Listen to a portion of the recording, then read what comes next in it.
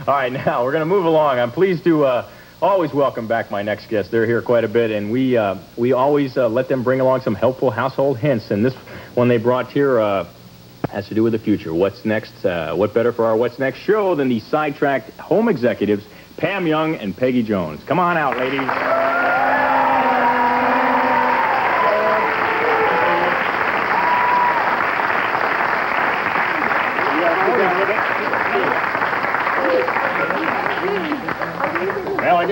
Well, se- we can- seating in the we future can is a little fit, can confusing. we can You can, you gonna double up? You want to work together? No, I'm afraid I'd sit on that, thinking it would laugh.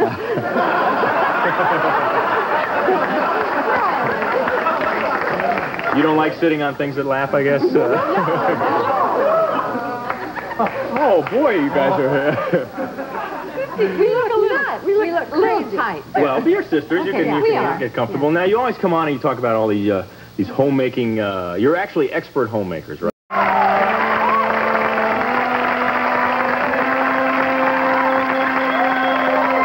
Electra. Electra, I think I got that right, Cassidy. Electra, nice to have you here. Thanks for being here. Really concerned about the stress levels we'd be feeling in the 21st century, so he designed resort wear. Now, this is a white denim sort of dress pant that's perfect for that weekend trip to Mars or Jupiter. Yeah. Now, Mark sort of feels that, because he works in Denim a lot, that after what we've done to blue denim, you know, we acid, you know, we acid washed it, we sandblasted it, and every other weird treatment we could think of, uh, that white denim may be the only fabric of the species to survive. Uh-huh. You know what else? That hat makes a great step stool, doesn't it? Yeah. Never thought of it, but yes. no, this is actually a metallic foil that is put on fabric. But in the year 2010, this will actually be woven right into the fabric. So you don't need a tailor, you need a spot welder in the future. That's a good point. That Oh, could be tough, you know? Yeah, sure. Well, you know, I'm missing a sleeve, get a welder. Yeah. Uh, so now, this is something you could wear on like the Starship Enterprise, I guess, right Of away. course.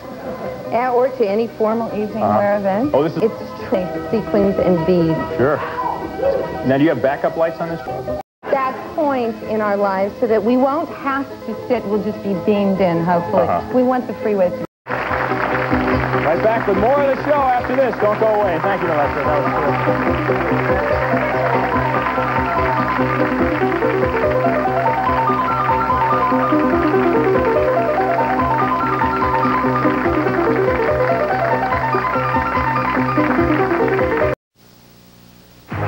The fun and the excitement in the race for television's fastest fortune on the $100,000 pyramid. Take it to 2121. Somebody will win 5,000.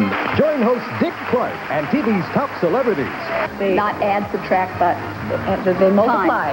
in a contest for cash and prizes. We're on our way to a perfect game. I can feel it. Every day, it's a race for riches $100,000. Right. on the $100,000 pyramid. Uh, what'd you think of that fashion thing? Unbelievable. I like the one that looked like the Statue of Liberty from Jupiter. Yeah, yeah. How about you, uh, Murray? Did you like that fashion show?